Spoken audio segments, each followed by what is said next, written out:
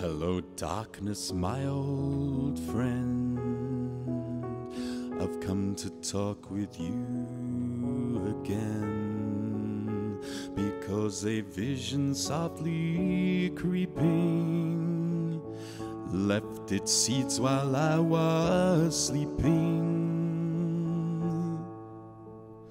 And the vision that was planted in my brain still remains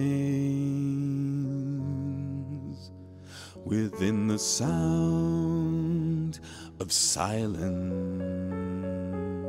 In restless dreams, I walked alone,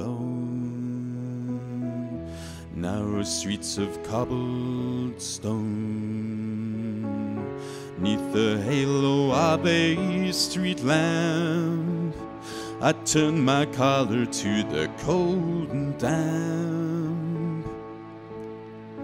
When my eyes were stabbed by the flash of a neon light that split the night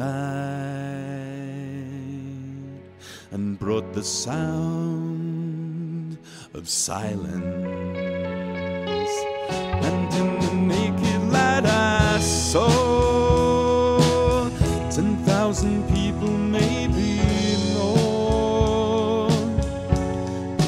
Talking